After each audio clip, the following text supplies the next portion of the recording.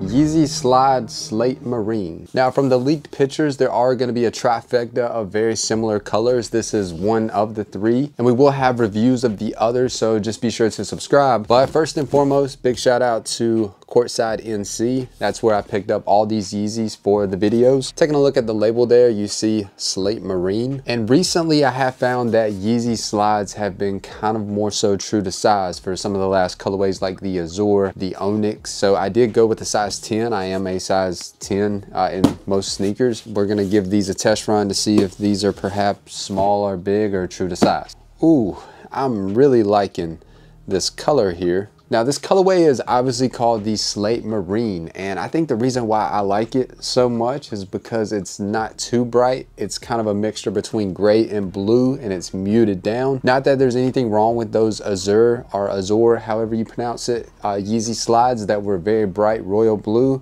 but they're just kind of tough to pull off or just kind of tough to style or at least I just feel that way when I'm wearing them on feet. Whereas this slate marine colorway these are muted down pretty neutral and I'm really liking this colorway so far. Now of course with this Yeezy slide it is the same as all the others. It is injected EVA foam. Now a lot of people have been talking about the production dates to see you know how long these Yeezys that are going to be coming out have been sitting. This was actually made in September of 2022 so this specific set of Yeezy slides. They haven't been sitting too long. But let us know down below in the comments from the on-foot shots that we have here. What do you think of these this colorway? I'm really liking it. But the main reason why you probably clicked on today's video is to find out sizing for the upcoming release. Now on my foot, I pretty much rock Yeezy slides on a daily basis. We have the sand colorway and this one is also a size 10 once again, keep in mind that I am a size 10 for Nike product, Jordan product, uh, and it's my true to size for Adidas NMDs. And this is a size 10 on the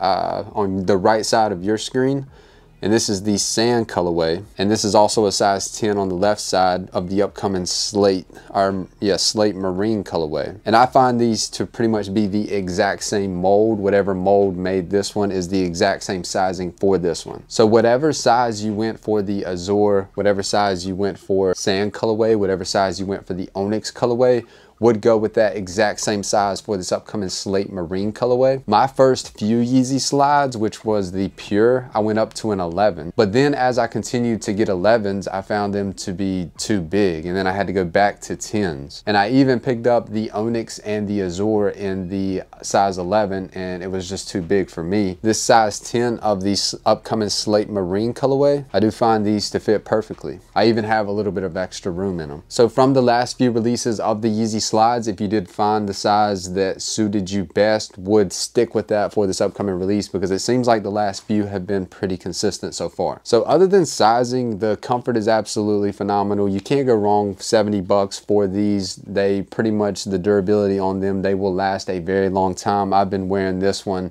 a lot and as you can tell it's held up pretty well all in all. I do have multiple colorways that I go back and forth um, from on a daily basis. But this one right here, this is definitely one that I'm gonna add to the collection when they release. Other than the colorway, there's not really too much to talk about in today's video, but we will have other videos of some more unreleased colorways that are gonna be dropping. So definitely be sure to subscribe for those. We got tons of Yeezys. We got some 350s over there, which I'll kind of grab them real quick. We got some exciting stuff that's gonna be coming on the channel soon. So be sure to subscribe. And if you enjoyed the video, please do give it a big thumbs up and drop a comment. Let us know what you think of this Slate Marine colorway. Now, thank you so much for tuning in to another episode of Sneaker Huddle, and we'll catch you in the next video.